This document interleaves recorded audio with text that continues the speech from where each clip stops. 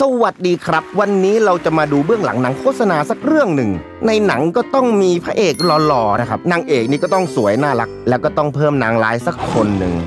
ทีนี้สมมุติว่าถ้าหนังเรื่องนี้มีการคอร์รัปชันเกิดขึ้นง่ายๆก็คือโกงนั่นเองงบก็จะถูกหักออกไปจ่ายใต้โต๊ะ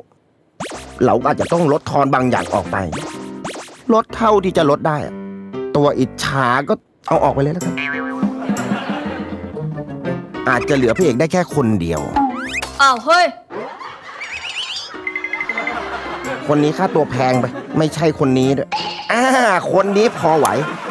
แต่ชุดนี้ไม่ได้นะครับ ชุดนี้เกิน โอเค อยู่ในงบละแต่มันจะดูหดหูไปนะครับ เอางี้เพิ่มหมาเข้าไปตัวหนึ่งแล้วกัน อืม ตัวนี้น่าจะเกินงบครับ ดูจากงบที่เหลือแล้วเนี่ยน่าจะได้ประมาณนี้นะ เอาเป็นว่าถ่ายเลยแล้วกัน ไม่โกง scene หนึ่ง take หนึ่ง action พวกเราคนไทยเอาไหมไหม cut cut cut ครับ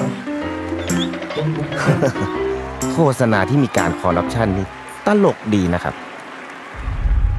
แล้วการคอร์รัปชันในชีวิตจริงล่ะ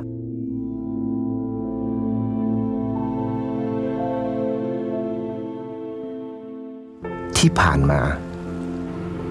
เราอาจเคยชินกับมัน ละเลย ไม่ใส่ใจ แต่การคอร์รัปชันไม่ใช่เรื่องตลก มันทำร้าย